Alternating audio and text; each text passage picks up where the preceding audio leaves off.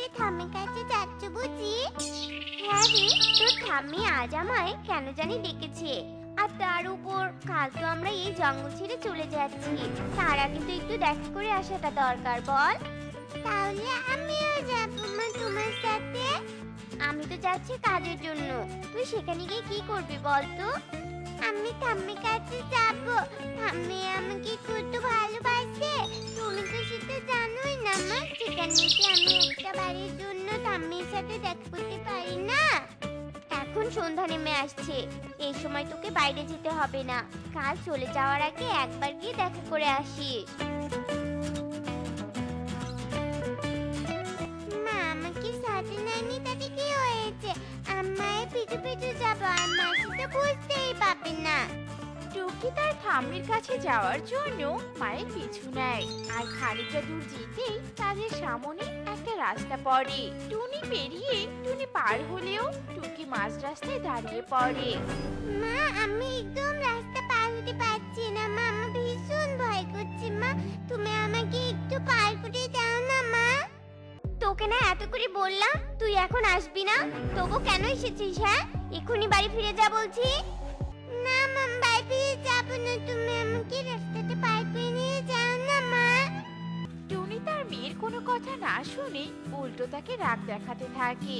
আর ঠিক তখনই একটা কার এসে টুকিকে ধাক্কা মেরে চলে যায়। আর টুকি ছটফট করতে করতে সেখানেই মারা যায়।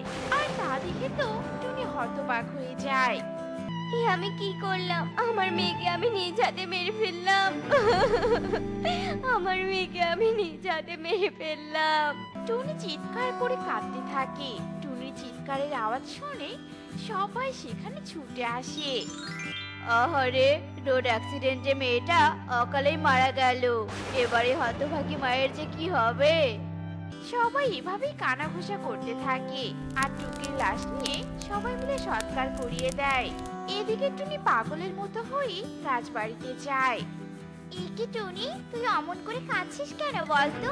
আর তোর শরীরে এত রক্ত লেগে আছে কিসের?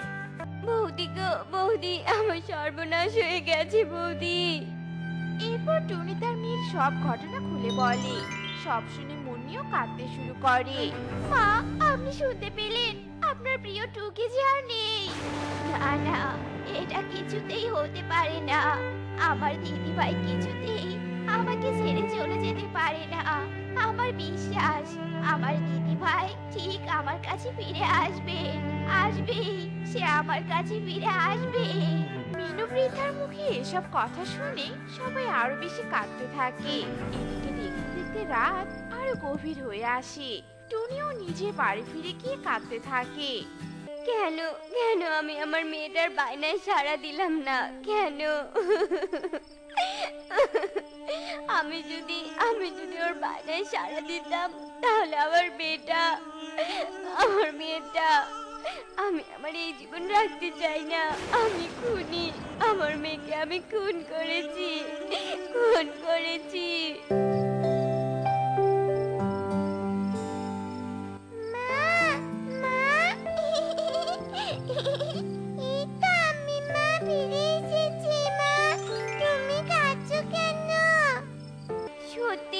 সত্যি তুই আমার কাছে ফিরে এসেছিস, মা। কথা দে, মা, কথা দে। তুই আমাকে ছেড়ে কোথাও যাবি না।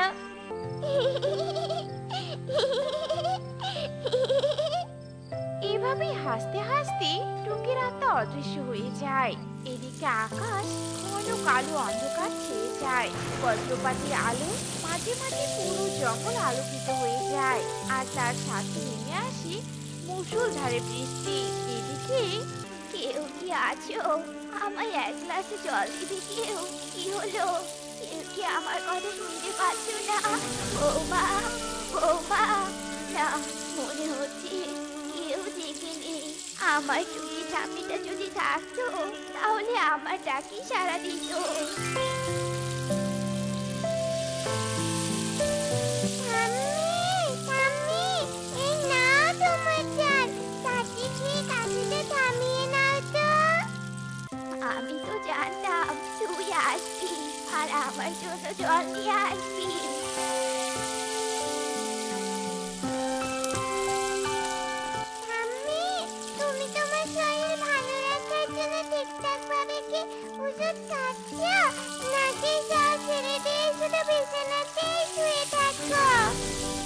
তুমি যাওয়ার পর থেকে আমাকে আর কে নিয়ম করে ঔষধ খাওয়াবে বল? কেউ নিয়ম করে খাওয়া না বলে আমার আর খাওয়াটাও হয় না। আর সাথে হাতটা দাও। আমি সবই বুঝতে পারছি আমি এবার আমার হাতটা ধুয়ে বিছানা থেকে উঠে এসে তো দেখি। আমি তো উঠতেই পারি না রে। কি করে উঠবো? তুমি চেষ্টা করো কথা মিনু উঠে দাঁড়ায় আর টুকির আত্মা মিনুর হাত ধরে ধরে মিনুকে হাঁটাতে থাকে। দিদি ভাই, আমার হাতটা কিন্তু একদম ছাড়বি না। তাহলে কিন্তু আমি পড়ে যাব। আর একবার যদি পড়ে যাই, তাহলে সারা জীবনের জন্য আমি আর উঠে দাঁড়াতে পারব না। আমি থাকতে তোমার কোনো চিন্তা নেই ঠাম্মি এবার টুকির আত্মা মিনুকে সুস্থ করার জন্য পুরো বাড়ি হাঁটাতে থাকে। এদিকে ততক্ষণে মনি আর তাদের বাড়ির কাজের মেয়ে বাহিরে বেরিয়ে আসে। মিনু মাসি তো হাঁটতেই পারে না। সে কি করে হাঁটছে? আর একা একাই বা কীভাবে কার সাথে জানি কথাও বলছি? ভাই তুই আছিস বলে আমি এখনও সুস্থ হয়ে বেঁচে আছি। তার মানে টুকির ভূত এসেছে? ওরে বাবা রে, আমি আর এই বাড়িতে থাকব না। আমি এক্ষুনি বাড়ি ছেড়ে চলে যাব। আরে আরে, তুই এখন কোথায় যাবি বলতো? না গো বৌদি, তুমি আর আমাকে আটকিও না। এই বাড়িতে ভূত আছে। না জানি কখন আবার আমার মাথা চিবিয়ে খায়। আরে পাগলি, থাম এবার। বাইরে তো ঝড় হচ্ছে। এই ঝড়ে আবার তুই কোথায় যাবি? যা, আর কোনো কথা না বলে নিজের ঘরে গিয়ে ঘুমা। আমি মায়ের সাথে কথা বলে দেখি। আসলে ব্যাপারটা কি? আচ্ছা যাও, তাড়াতাড়ি কথা বলে নাও।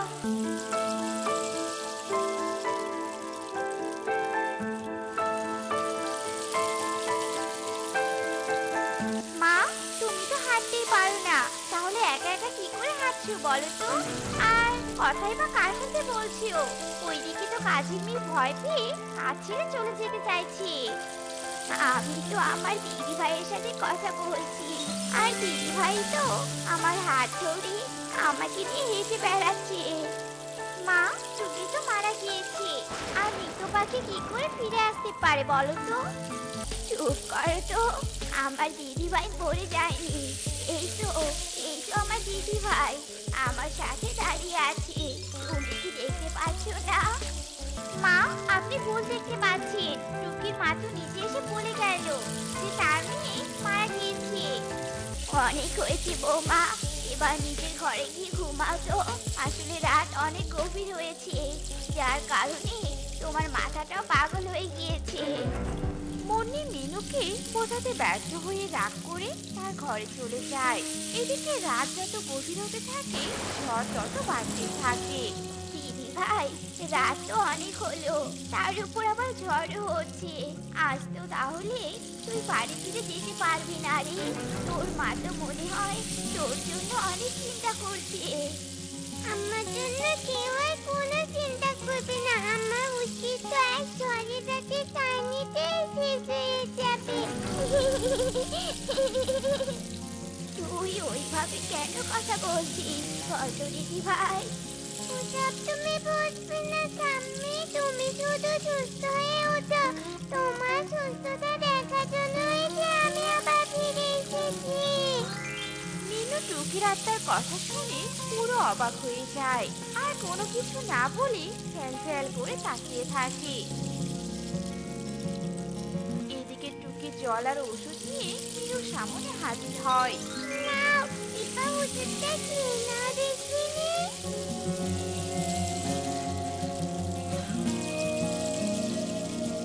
এবার আয় তো আমার পাশে শুয়ে ঘুমাবি। রাত তো অনেক হয়েছে।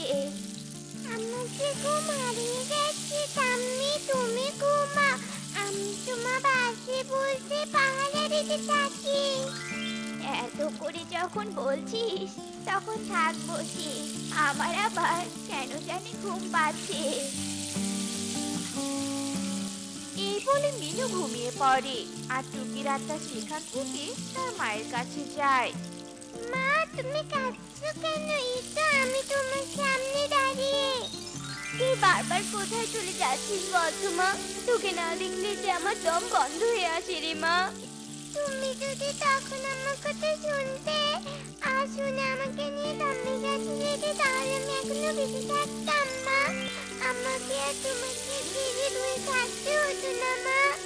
আমার ভুল হয়ে গেছে, মা। আমি আর কোনো দিন অমন কাজ করব না। তবুও তুই আমার কাছ থেকে যাস না, মা। যাস না। কখনোই সম্ভব না, মা। কারণ এখন যে অনেক দেরি হয়ে গেছে শুধু আমাকে বিদায় জানাও।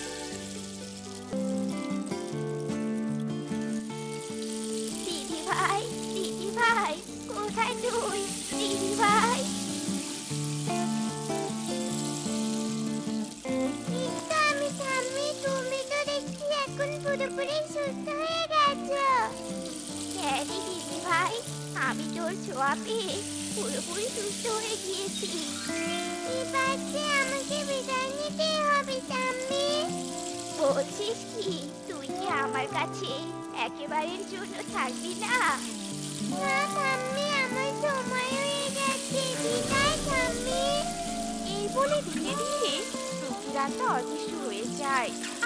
অপলক দৃষ্টিতে তাকিয়ে থাকে। বাচ্চাদের কিছু কিছু আবদার মেনে নিতে হয়। নয়তো তার বিনিময়ে খারাপ কিছু বয়ে আনে। কালু ভাই, কাকুলি দিদি, একটা খারাপ খবর আছে। শুনলাম দুদিন পর থেকে নাকি বৃষ্টি নামবে। আর এই বৃষ্টি কোন দিন ছাড়বে, সেটা কেউ বলতে পারে না। তাই বলি কি চলো আমরা এই দুদিন বসে না থেকে কাজ করতে যাই। কাজ করে টাকা দিয়ে খাবার এনে রেখে দেব। তাহলে আর বৃষ্টিতে খাবারের কষ্ট করতে হবে না। কে বলেছে তোমাকে বৃষ্টি নামবে? এটা কি বৃষ্টির সময় নাকি? যে কথা বলেছে তার হয়তো মাথা খারাপ হয়েছে। আমরা যাব না কাজে। ঘরে কিছু খাবার আছে সেটা আগে খেয়ে শেষ করি। পরেরটা পরে দেখা যাবে। হ্যাঁ টনি আমরা এসব মিথ্যে কথা বিশ্বাস করি না। কয়েকদিন থেকে যে রোদ পড়েছে দেখি তো বোঝা যায়। বৃষ্টির আরও ছ মাস বাকি। তুমি অনেক ছোট, তাই বোঝো না। যাও, বাড়িতে গিয়ে আরাম করো। এই রোদে কাজে না যাওয়াই ভালো। ঠিক আছে, কাকুলি দিদি। মামা, আমি আমার বন্ধু বাড়িতে গিয়েছিলাম। ওখানকার সবাই বলেছে দুদিন পর থেকে খুব চার নামবে। মামা, আমার খুব ভালো লাগছে। যদি আমাদের বাড়িঘর পানিতে ভুয়ে যায়, তখন আমরা কোথায় থাকব? আরে পাগলি, ভয় কেন পাচ্ছিস? এমন ঝড় হবে না। যেটাতে বাড়িঘর পানিতে ভরে যাবে। শুধু রাস্তাঘাটে পানি বাঁধতে পারে। কিন্তু কালু কাকুরিতে এসব কথা বিশ্বাস করছে না, কাজে যেতে চাইছে না। সবাই যখন বলছে, তবে বৃষ্টি হবেই রে। আমি বসে না থেকে কাজে যাই। কিছু খাবার আনতে পারলে তবু কয়েকদিন চলে যাবে। হ্যাঁ মা তুমি কাজে যাও। এরপর টুনি কাজে যায়। কবুতরের জমিতে সারাদিন কাজ করে বিকেলে টাকা নিয়ে বাজার থেকে খাবার নিয়ে বাড়িতে চলে আসে। এভাবে টুনি প্রতিদিন কাজ করে আরও কিছু খাবার নিয়ে আসে। মা, দেখেছ আকাশ কি ঘন কালো মেঘে থেকে গেছে? সবা কাতে ছুটি হলো বৃষ্টি ঠিক আসবে মা। সমস্যা নেই, মা। আমি অনেক খাবার এনেছি। আমাকে কয়েকদিন কাজ না করলেও হবে। কিন্তু কালু ভাই আর কাকুলি দিদির যে কি হবে? টুনি টুকে এসব বলছিল। কিছুক্ষণের মধ্যেই বৃষ্টি শুরু হয়ে যায়। এভাবেই সেই দিনটা কেটে যায়। এমন ভাবে বৃষ্টি পড়ছিল যে, বৃষ্টির থামার কোনো সম্ভাবনাই ছিল না। এভাবেই তিন দিন কেটে যায়। কালু, আমরা তো টুরির কথা বিশ্বাস করলাম না। এখন দেখছি বৃষ্টি হতেই চলেছে। ঘরে তো কোনো খাবার নেই। এইভাবে বৃষ্টি হতে থাকলে তো আমাদের না খেয়ে মরে যেতে হবে। সে সকালে খাবার খেয়েছি, এখনও খাইনি। না খেয়ে মরবো কেন? টুনি তো খাবার মজুত করে রেখেছে। টুনির কাছ থেকে আজকের মতো খাবার খেয়ে দিনটা কাটিয়ে দেই। চলো টুনির বাড়িতে যাই। ভাই কাকুলি দিদি তোমরা এই বৃষ্টির মধ্যে আমার বাড়িতে? টুনি আমাদের কিছু খাবার খেতে দাও। আমরা যে না খেয়ে আছি তোমার কথা বিশ্বাস না করে আজ খাবারের কষ্ট ভুগছি। এখন থেকে তোমার কথা বিশ্বাস করব। কালু ভাই সবার কথাই বিশ্বাস করতে হয়। কারণ সবাই যেটা বলে সেটা পুরোপুরি না হলেও কিছুটা সত্যি হয়। আচ্ছা তোমরা বসো আমি তোমাদের খাবার দিচ্ছি। এরপর টুনি কালু কাকুলিকে খাবার খেতে দেয়।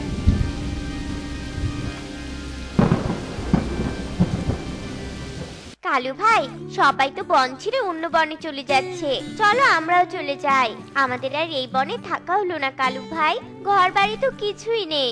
যে পানিতে ভরে গেছে, কাজও পাবো না কোথাও। তার চেয়ে বরং অন্য বনে গিয়ে কাজ করে বাড়ি বানাবো। আর আমার কাছে যা খাবার আছে, এগুলো দিয়ে দুদিন চলে যাবে। হ্যাঁ টুনি চলো তাহলে আমরা অন্য বনে যাই। টুনি দেখো এখানে ভুট্টা হয়েছে। জঙ্গলে এমনি এমনি ভুট্টাগুলো হয়েছে। দেখো না কত ঘাস ভুট্টার খেতে। আমরা এক কাজ করি এই ভুট্টা খেতে যত্ন করি। আর যখন ভুট্টা বড় হবে তখন আমরা ভাগ করে নেব। তাহলে আর অন্য কাজ খুঁজতে হবে না। হ্যাঁ কালু ভাই তুমি ঠিক বলেছ। চলো, আমরা ঘাসগুলো পরিষ্কার করি। টুনি, তুমি কাজ শুরু করো। আমরা নদী থেকে একটু পানি খেয়ে আসি। চলো কালু, নদীতে যাই। আমার যে এই বনে একা নদীতে যেতে খুব ভালো লাগছে। ঠিক আছে, তোমরা যাও, আমি কাজ শুরু করছি।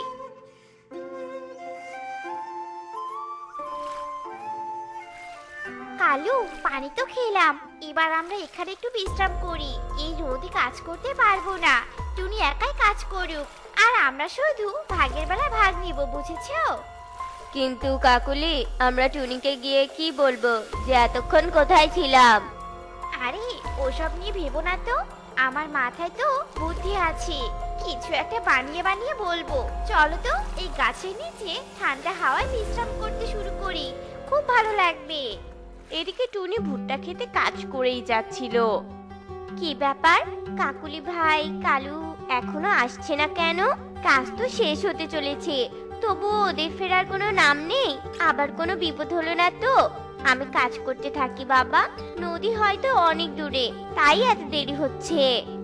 এভাবে টুনি কাজ করতেই থাকে। এক পর্যায়ে টুনির ভুট্টা খেতে সব ঘাস পরিষ্কার শেষ হয়ে যায়, সন্ধ্যা হয়ে যায়।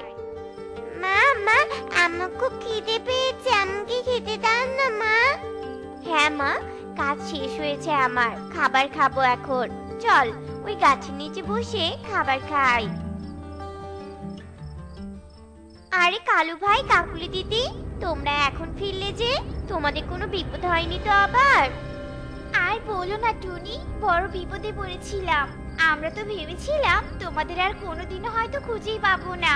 আমরা নদী থেকে পানি খেয়ে এখানে আসার জন্য ফিরছিলাম। আর রাস্তা ভুলে গিয়ে সারা দিন বনে ঘুরেছি। ঘুরতে ঘুরতে অবশেষে তোমাদের খুঁজে পেলাম। আর সন্ধ্যা হয়ে গেল। আজ তো রাত হয়েছে। আমরা কাল থেকে একসাথেই ভুট্টা ক্ষেত পরিষ্কার করব। কাকুলি দিদি, আমি ভুট্টা খেতে সব ঘাস পরিষ্কার করেছি। এখন তোমাদের আর ঘাস পরিষ্কার করতে হবে না। কাল এখন ভুট্টাতে পানি দিতে হবে। সবাই পানি দিবে একসাথে এখন সবাই খাবার খেয়ে এখানেই ঘুমিয়ে পড়ি গো। হ্যাঁ টুনি, খাবার দাও। সারাদিন উড়ে উড়ে খুব ক্ষুধা লেগেছে।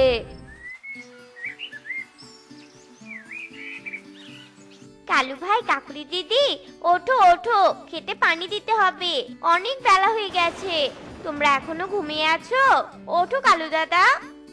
টুনি এভাবে কালু কাকুলিকে অনেক ডাকতে থাকে। কিন্তু শয়তান কালু কাকুলি কাজ করার ভয়ে ঘুমের ভাব ধরে থাকে। টুনি তার মেয়েকে নিয়ে নদী থেকে কলস করে পানি এনে ভুট্টা খেতে দেয়। এভাবে অলস কালু কাকুলি কোনো না কোনো বাহানা করে কাজ ফাঁকি দিত।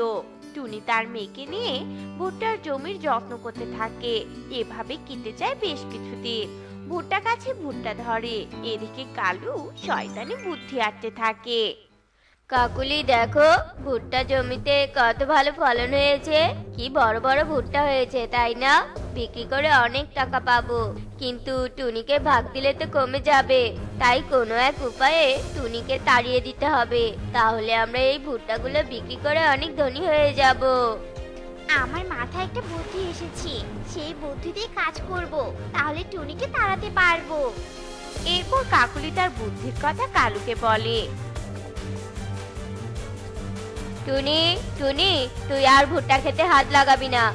আর কাজ করতে হবে না তোকে। এখন থেকে আমরাই কাজ করব। আর শোন, ভুট্টা তুলে যখন বিক্রি করব, তোকে দুটো ভুট্টা দিব, কাজের মজুরি হিসেবে। কি বলছো কালু ভাই? ভুট্টার এত যত্ন আমি একাই করলাম। আর তুমি কি না আমাকে শুধু দুটো ভুট্টা দিবে? কিন্তু আমি সব ভুট্টা পাই। তোমরা একটা ভুট্টাও পাও না। কারণ তোমরা একটা কাজও করনি।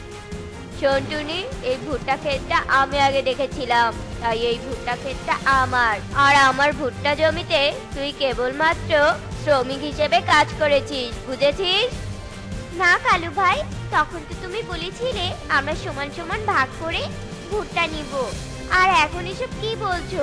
জমি আগে দেখেছ বলি কি তোমার খেতেটা আর আমি যে এত কষ্ট করে জমিতে কাজ করেছি তোকে কাজের সুযোগ করে আমি দিয়েছিলাম। আর তুই কিনা আমার মুখের উপর কথা বলছিস? দাঁড়া, তোকে দেখাচ্ছি মজা। এই বলে কালু লাঠি দিয়ে মারতে থাকে। না। তোমার চাই মা মা আপনি চলে আর হবে না, মা। কালু ভাই আমি চলে যাব। তবু আমাদের ছেড়ে দাও। তুমি ভুট্টাকে আগে দেখেছ বলে নিজের দাবি করছ? ঠিক আছে তোমাকেই দিয়ে গেলাম এই ভুট্টা খেয়ে মামা চলো আমি জঙ্গলে কাঠ কুড়িয়ে বিক্রি করব। তাহলে আর আমাদের অভাব থাকবে না মা। আমার সোনা মেয়ে তুই এত ছোট হয়ে এত বুদ্ধি কোথায় পেলি মা? হ্যাঁ মা আমরা তাই করব। এরপর টুনি আর টুকি মিলে জঙ্গলে কাঠ কুড়াতে থাকে। তারা অনেক কাঠ পেয়ে যায়। তারপর সেগুলো বাজারে নিয়ে বিক্রি করে বেশ কিছু টাকা পায়। এই বর্ণে তো কাঠের দাম অনেক। কাঠগুলো বিক্রি করে বেশ কিছু টাকা পেলাম। এখন থেকে প্রতিদিন কাঠ কুড়িয়ে বিক্রি করলে অনেক টাকা পাবো আর একটা বাড়ি বানাতে পারব। হ্যাঁ মা তখন কালু চেয়ে আমরা অনেক ধনী হয়ে যাব তাই না মা? হ্যাঁ রে মা। টুনি ও টুকি এভাবে প্রতিদিন কাঠ পুড়িয়ে বিক্রি করতে থাকে। অনেক টাকা পায় তারা। এই কে? কে আমার ভুট্টা ক্ষেত থেকে ভুট্টা চুরি করছে? বেরিয়ে আয় বেরিয়ে আয় বলছি। তোমার জমি মানে? এটা তো আমার ভুট্টা ক্ষেত। তাই আমি নিজেই নিজের ভুট্টা তুলছি বিক্রি করব বলে। ও বুঝেছি। টুনি তোমাকে পাঠিয়েছে তাই না? টুনিকে মেরে তাড়িয়ে দিয়েছি। এখন তোমাকেও মেরে তাড়াবো নাকি? আরে এ বলে কি? আমার ক্ষেত থেকে ভুট্টা চুরি করে আমাকে তাড়াতে চাইছিস? এই একে তোরা মেরে শিক্ষা দে তো। আমাকে মারতে যাওয়ার পরিণাম কি হয়? এবার বুঝবি। এরপর মিঠু ও শালি কালুকে অনেক মারতে থাকে আর সেখানে টুনি টুকি চলে আসে। তোমরা মারছো কেন কালু ভাইকে? ছেড়ে দাও ছেড়ে দাও বলছি। নইলে পুলিশকে আনব কালু একটা চোর। আর ওকে তুমি বাঁচাতে চাইছো? দেখো না আমার ক্ষেতের ও ভুট্টা চুরি করছে। ও আচ্ছা এটা তোমার ভুট্টা ক্ষেত? ও আচ্ছা এই ব্যাপার। তাহলে তো এই কালু খুব খারাপ। টুনি তুমি আমার জমিতে এত কাজ করেছ তাই তোমাকে আমি কিছু ভুট্টা দিব। তোমার জন্যই এত ভালো ফলন হয়েছে। আমি এতদিন সময়ের অভাবে জমিতে আসতে পারিনি। আরে কালু, যাও যাও এখান থেকে। তুই টুনিকে ঠকাতে চেয়েছিলি। এখন তোকে কিছুই দিব না। কালু ভাই, আজ যদি আমার সাথে মিলেমিশে কাজ করতে আর আমাকে না ঠকাতে, তাহলে তুমিও ভুট্টা পেতে। এটা তোমারও জমি ছিল না, আমারও ছিল না। অন্যের জিনিস নিয়ে এত বড়াই করা ঠিক না। শেষে নিজেরই ক্ষতি হয়। মারও খেলে কোনো কিছুইও পেলে না। টুনি, আমাকে ক্ষমা করে দাও। আমি আর কখনো অন্যের কোনো কিছু নিয়ে বড়াই করব না। আর তোমাকে অনেক ধন্যবাদ আমাকে বাঁচানোর জন্য। এই বলে কালু কাকুলি লজ্জায় সেখান থেকে চলে যায়। আর পেঁচা সব ভুট্টা তুলে টুনিকে দেয়। আর কিছু ভুট্টা নিজে নেয়। টুনি ভুট্টা নিয়ে বাড়ি চলে যায়। আর মামি সুখে দিন কাটাতে থাকে। টোনা টুনি অনেক সুখে দিন কাটাচ্ছিল। কিন্তু হঠাৎই একদিন তাদের ঘর আলো করে জন্ম নেয় এক ফুটফুটে কন্যা সন্তান। ফুটফুটে সুন্দর হলেও জন্মগতভাবেই সে পঙ্গু হয়ে জন্ম নেয়। ওগো, আমাদের মেয়েটা যে পঙ্গু হয়ে জন্ম নিয়েছে। এবার আমরা এই মেয়েকে নিয়ে কি করব বলো তো? মন খারাপ করো না টুনি। সৃষ্টিকর্তা হয়তো খুশি হয়েই আমাদের এমন সন্তান দান করেছে। কিন্তু মেয়েটার তো চিকিৎসা করাতে হবে। সেই চিকিৎসা করার মতো তো আমাদের কোনো সামর্থ্য নেই। তুমি কোনো চিন্তা করো না টুনি। আমি যা রোজগার করি তার অর্ধেকটা দিয়ে আমি আমার সংসার চালাবো। আর বাকি অর্ধেকটা দিয়ে আমাদের মেয়ের চিকিৎসা করাবো। আর চিকিৎসা করাতে করাতে একদিন আমাদের মেয়ে ঠিক সুস্থ হয়ে যাবে, টুনি। দেখে নিও তুমি। হ্যাঁ গো, তাই যেন হয়। এরপর থেকে টোনা আরও বেশি বেশি পরিশ্রম করতে থাকে। আর পরিশ্রম করে যা মাইনে পায়, তার অর্ধেক দিয়ে মেয়ের চিকিৎসা করাতে থাকে। এভাবেই দেখতে দেখতে কেটে যায় বেশ কিছুদিন।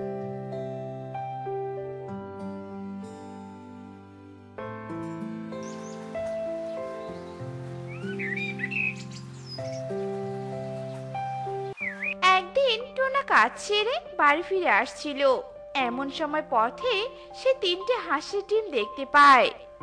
এই নির্জন জঙ্গলে তিনটে হাঁসের ডিম পড়ে আছে। এখানে গত কয়েকদিনে কোনো হাঁস এসেছিল বলে তো মনে হচ্ছে না।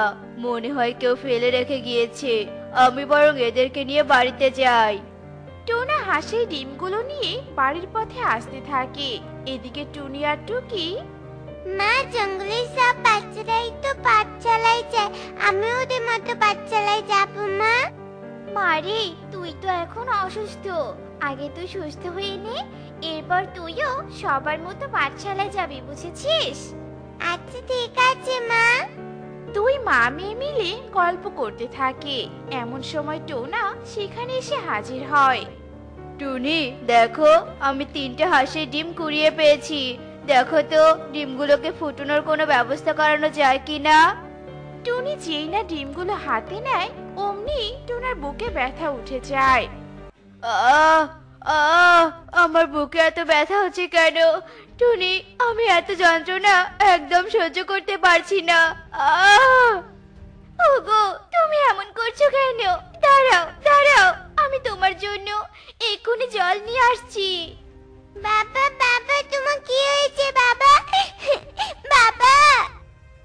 জল আনার জন্য ঘরে চলে যায়। আর তখনই টোনা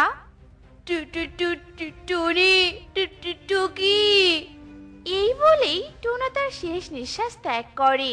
আর টুনি জল নিয়ে বাইরে এসে, টোনা, এই তোমার কি হয়ে গেল টোনা? এভাবে তুমি এভাবে তুমি অকালেই আমাকে ছেড়ে চলে গেলে। এখন আমি আমার এই প্রতিবন্ধী মেয়েকে নিয়ে কি করব? টোনা, ফিরে এসো টোনা। ফিরে তুমি। বাবা। বাবা। টনি তার প্রতিবন্ধী মেয়েকে বুকে জড়িয়ে কাঁদতে থাকে আর তারপর বুকে পাথর জমা রেখে স্বামীর শেষ কার্য সম্পূর্ণ করে। এরপর দেখতে দেখতে দিন পেরিয়ে রাত হয়ে আসে।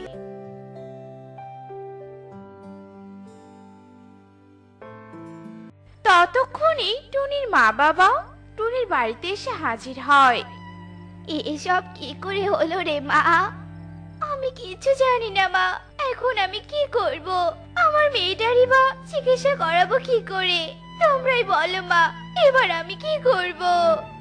তোকে কিছু করতে হবে না মা। তুই আমাদের সাথে আমাদের বাড়িতে চল। আমি তোদের দুজনের ভরণ পোষণ করব। হ্যাঁ রে মা তোর বাবা একদম ঠিকই বলেছে। তুই চল এবার আমাদের সাথে। দিদি ভাই, চল। এরপর মিনু আর রাজু দুজনে মিলে তাদের মেয়ে আর নাতনিকে নিয়ে নিজেদের বাড়ি ফিরে আসে আর দুজনের ভরণ পোষণ করতে থাকে। এভাবেই দেখতে দেখতে কেটে যায় আরও অনেকগুলো দিন।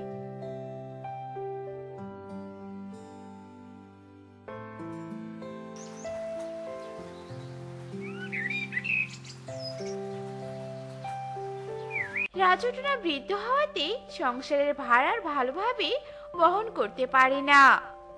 গিন্নি আমি যে আর এতগুলো পাখির ভরণ পোষণ করতে পারছি না এখন আমি কি করব বলো? কি আর বলি বলো তো মেয়েটাও সারাদিন মন মরা হয়ে বসে থাকে। আমি না হয় এক কাজ করি কোনো ঘটকের সাথে কথা বলে দেখি। যদি আমাদের মেয়েটার আবার কোনো বিয়ে দেওয়া যায় কিন্তু আমাদের টুনি কি তা মানবে। তুমি একটু মেয়েটার সাথে কথা বলে দেখো। এরপর মিনু টুনিকে ডাকে আর মায়ের ডাকে সাড়া দিয়ে টুনি এসে হাজির হয়। আর মিনু বিয়ের কথা বলতেই না মা তা হয় না। আমি যদি আবার বিয়ে করি তাহলে আমার মেয়েটার কি হবে? যে আমাকে বিয়ে করবে সে তো আর আমার মেয়েটাকে মেনে নিবে না। তোর মেয়ের ভরণ পোষণের দায়িত্ব আমরা নিব রে মা। ছেলে পক্ষকে কিছুতেই জানাব না। না মা, তা হয় না। আমি আমার মেয়ের সাথে এত বড় অন্যায় করতে পারব না। তুই ওভাবে বলিস না রে মা। তুই যদি এই কাজ করতে না পারিস, তাহলে যে আমি মরেও শান্তি পাবো না। তুই আর একদম না করিস না মা। হ্যাঁ রে মা, তুই আমাদের কথা রাখ। নয়তো আমাদের দুজনকেই যে মরতে হবে। বাবা মায়ের মুখে এমন কথা শুনে টুনি চিন্তায় পড়ে যায় আর বাবা মায়ের মুখের দিকে তাকিয়ে বিয়ে করতে রাজি হয়ে যায়। ঠিক আছে তোমরা যখন এত করেই বলছো তখন আমি রাজি। তোমরা আমার জন্য ছেলে দেখতে পারো তাতে আমার আর কোনো আপত্তি নেই। ঠিক আছে রে মা। মেয়ের সম্মতি পেয়ে রাজুটনা মহা খুশি হয় আর মেয়ের জন্য পাত্র দেখতে শুরু করে।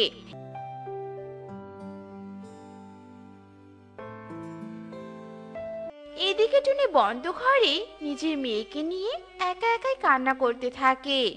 মা তুমি অমন করে আর কিদো না তো? তোমার কান্না যে আমার একদম সহ্য হয় না। আমারও যে কান্না পায় মা। আচ্ছা ঠিক আছে রে মা। এই তো আমি চোখের জল মুছে ফেললাম। মা বাবা যে আমাদের তিনটে হাসির ডিম দিয়েছিল তুমি ওগুলো কোথায় রেখেছো? আমার যে ওই হাসির ডিমগুলো দেখতে খুব ইচ্ছে করছে। ওগুলো তো আমাদের বাড়িতেই পড়ে আছে। কিন্তু হঠাৎ করে তোর এত ডিমগুলোকে দেখতে ইচ্ছে করছে কেন বল তো রে মা? তার তো জানি না মা কিন্তু খুব দেখতে ইচ্ছে করছে। আচ্ছা ঠিক আছে।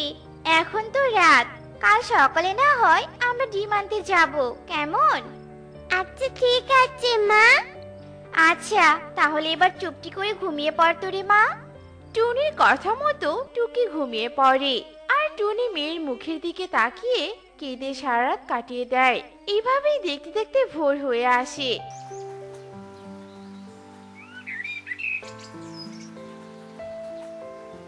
আর ছেলে পক্ষ টুনিকে দেখতে চলে আসে। মেয়ে আমাদের পছন্দ হয়েছে, কিন্তু কত দেনা পাওনা করবেন সেটা যদি আগে বলে নিতেন, তাহলে আমাদের একটু সুবিধে হতো। কারণ আমার আবার টাকাগুলো ব্যবসার কাজে লাগাতে হবে। আসলে বাবা, আমার তো দেনা পাওনা করার মতো কোনো সামর্থ্য নেই। আমার মেয়েকে বিয়ে করতে হলে বিনা পয়সাতেই করতে হবে। কি? একেই তো বিধবা, তার ওপর আবার কিনা বিনা পয়সায় বিয়ে করব? অসম্ভব, আমি এ বিয়ে কিছুতেই করতে পারব না। বাবা, তুমি যদি এভাবে বলো, তাহলে আমার মেয়েটার কি হবে বলো? কি আর হবে? নিজের মেয়ে তো কপাল গুনে স্বামীকে খেয়েছে। এখন নিজেকেও গলায় দড়ি দিয়ে মরতে বলুন গিয়ে যত সব। এই বলে ছেলে পক্ষ উঠে সেখান থেকে চলে যায়। আর রাজুটনা তাদের এমন কথা শুনে হাউ মাউ করে কাঁদতে শুরু করে। মারে আমি হয়তো আর তোকে সুখের মুখ দেখাতে পারব না রে মা। বাবা তুমি এভাবে আর কেঁদো না। আমার বিয়ে হয়নি তাতে কি হয়েছে? আমি কর্ম করব বাবা। এমন সময় আরও একটা ছেলে পক্ষ এসে উপস্থিত হয়।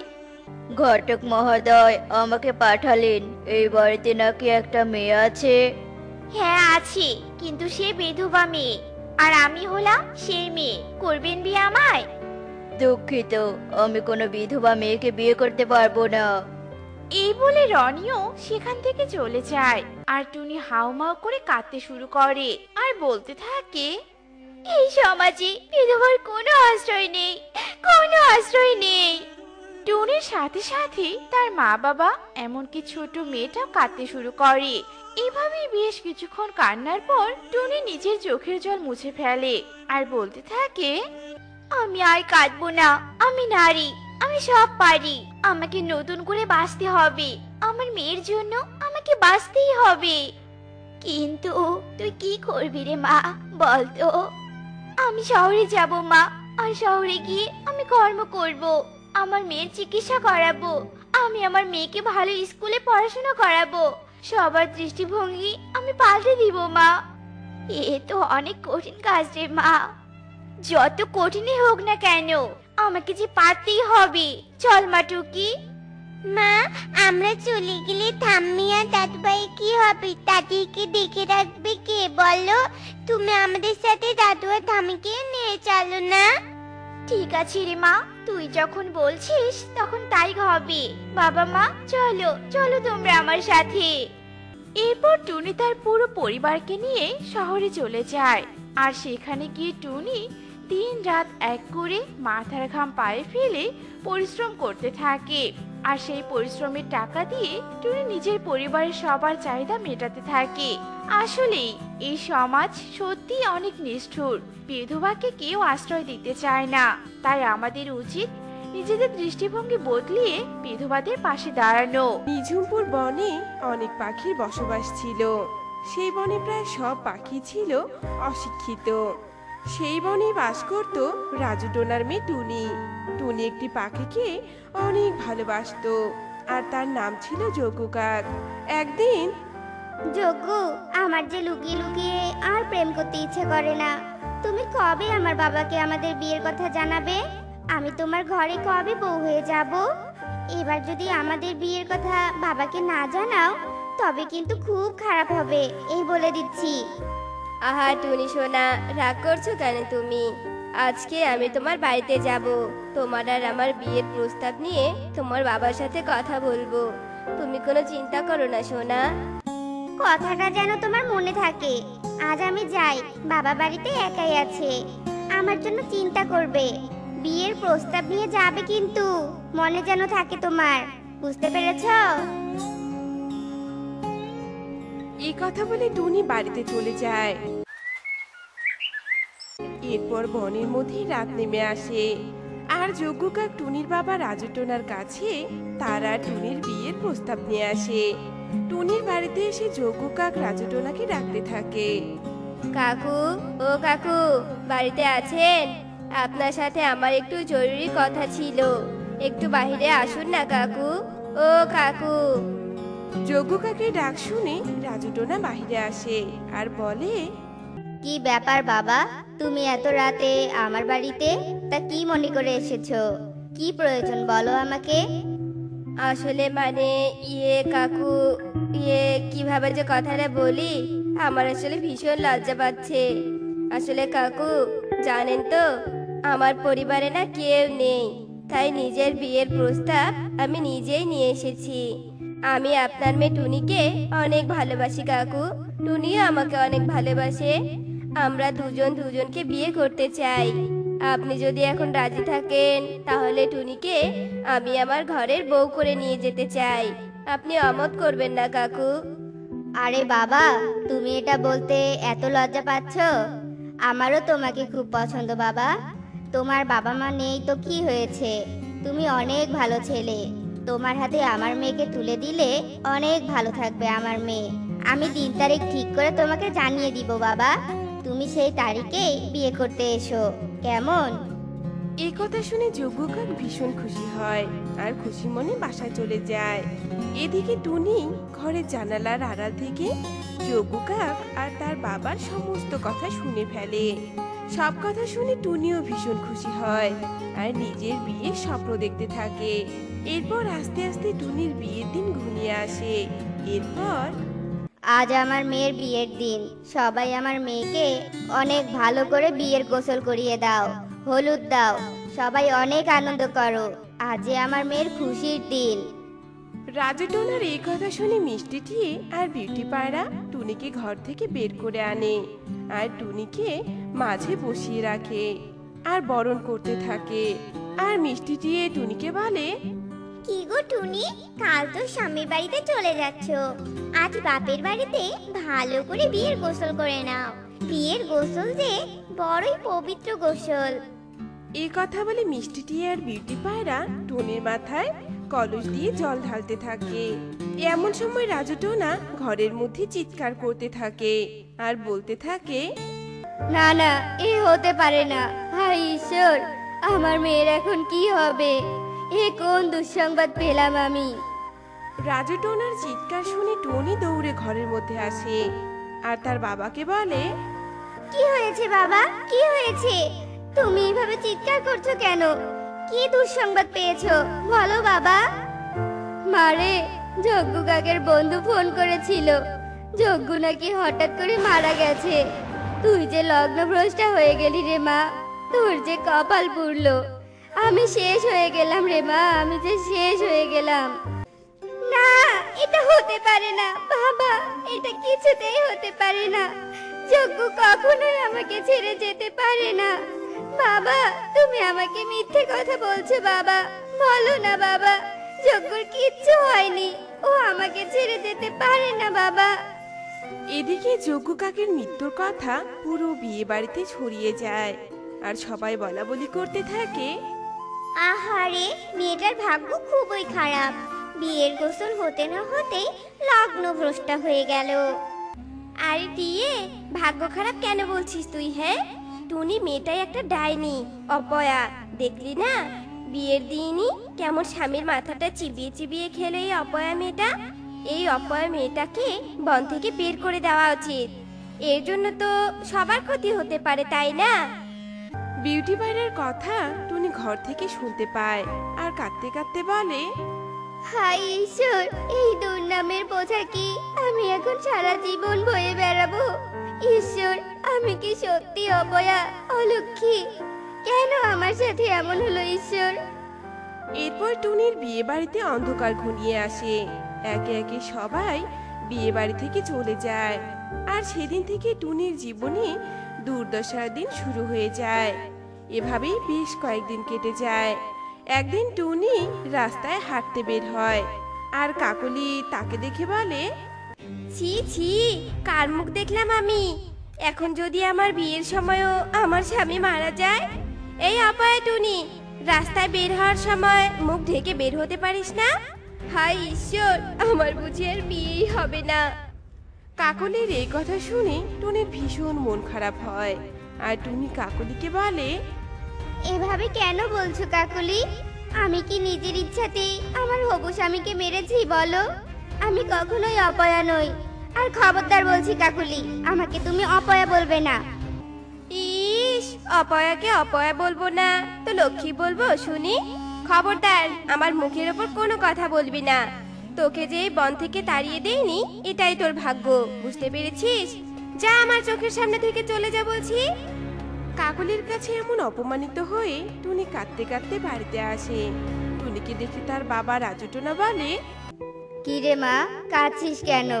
কাকুলির নাকি বিয়ে? আমাদের নিমন্ত্রণ করেছে। তুই তো সারাদিন বাড়িতে থাকিস। যা না মা, একটু বিয়ে বাড়িতে গিয়ে মনটা একটু হালকা করে আয়। টুনি কিছুতেই বিয়ে বাড়িতে যেতে চায় না। কিন্তু রাজুটোনার জোরাজুরিতে টুনি কাকলির বিয়েতে যেতে রাজি হয়। এরপর টুনি কাকলির বিয়েতে যায়। টুনি বিয়ে বাড়িতে যাওয়ার কিছুক্ষণ পরে সংবাদ আসে যে কাকলিকে বিয়ে করতে আসার সময় গাড়ি অ্যাক্সিডেন্ট করে কাকলির বর মারা গেছে। তা শুনে সবাই টুনিকে অনেক দোষ দিতে থাকে। আর সেখানে একটা বৃদ্ধ বুড়ি ছিল, তার নাম ছিল মিনু। সব শুনে মিনু টুনটুনি বলে, শোনো সবাই, এই মেয়ের তো বিয়ের দিন গোসলের সময় এর স্বামী মারা গেছে। তার মানে একে আবার গোসল করিয়ে পবিত্র করাতে হবে।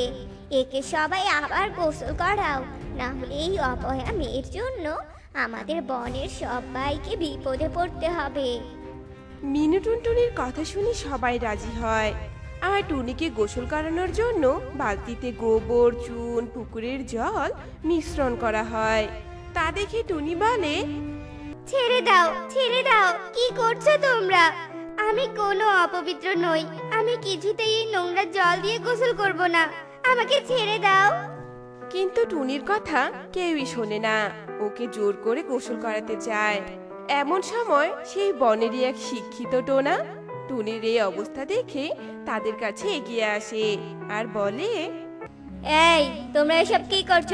ছেড়ে দাও ছেড়ে দাও টুনিকে। এসব কুসংস্কার এগুলো কেউ এখনও বিশ্বাস করে? এই ছেলে আমি জানি তুমি শিক্ষিত। দুই কলম পড়াশোনা করেছ বলে কি গ্রামীণ নিয়ম নীতি ভুলে গেছো? সরো, মেয়েদের ব্যাপারে তুমি নাক গলাবে না। কিছুতেই একটা মেয়ের সাথে আমি এই অন্যায় হতে দিব না। আমি কিন্তু পুলিশ ডাকবো। তুমি যা ইচ্ছে করো। এই মেয়ের জন্য গ্রামে কোনো ক্ষতি হলে এই দায়ভার কি তুমি নিবে? এখনও সময় আছে। এসব ব্যাপারে তুমি ঢুকবে না। টুনিকে আমি বিয়ে করব। দেখি আমার কি ক্ষতি হয়। এই মুহূর্তে এখানেই আমি তোমাদের সামনে টুনিকে বিয়ে করব। সবাই বিয়ের ব্যবস্থা করো। তারপর টোনার জোরাজুরি করাতে সবাই মিলে টুনির সাথে টোনার বিয়ে দিয়ে দেয়। আর টোনা টুনিকে নিয়ে টুনিদের গ্রাম থেকে শহরে চলে যায়। আর সুখে শান্তিতে শহরেই বসবাস করতে থাকে। তো বন্ধুরা, কুসংস্কারে কখনোই বিশ্বাস করা উচিত নয়। কুসংস্কার আমাদের জীবনে কখনোই মঙ্গল কিছু বয়ে আনে না। আর আজ আমাদের গল্পটি তোমাদের কাছে কেমন লেগেছে তা কমেন্টে জানাতে ভুলো না কিন্তু।